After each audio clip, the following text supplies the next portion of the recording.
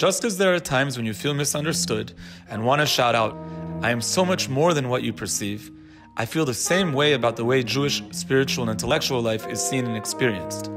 We are so much more.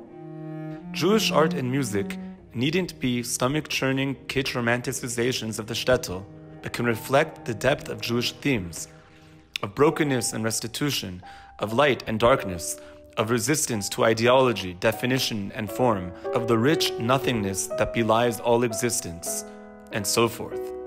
Through 21st century content in art and thought, without kitsch on the nose gestures that shamefully vulgarize what can offer mind bending and conscious shifting transformation.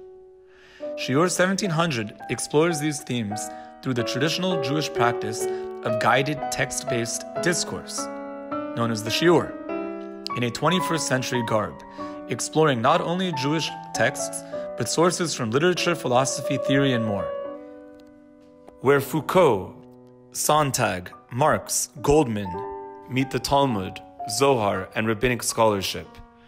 We brought together contemporary artists, scholars, thinkers, and others from throughout Germany and collaborated on original content in unique spaces in Hamburg, Leipzig, Munich, and Berlin.